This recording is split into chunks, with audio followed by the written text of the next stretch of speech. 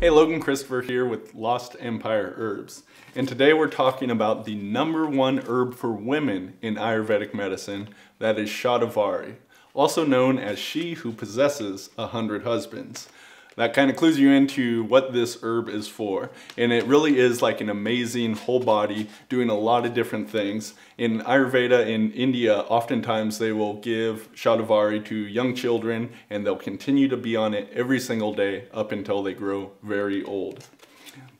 This herb, it's a pretty potent extract we have here. We recommend you take one eighth of a teaspoon twice per day. So just a small amount. And when you taste this, it has this really sweet start and then it finishes off kind of bitter. Uh, it's not overpoweringly so, but it definitely has some kick to it.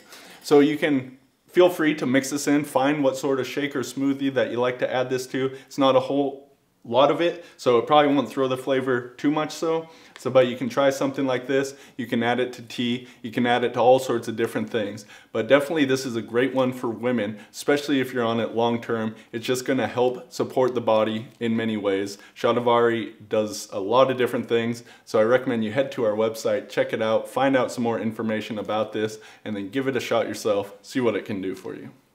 Thanks so much for watching this video. If you'd like to get more information, click the link around this video and you'll be taken to our website. Once there, you can click around. We have tons of information, scientific studies, details about the herbs and its historical use, reviews, and so much more. So head over there, you'll be able to find that info and pick up a bag today.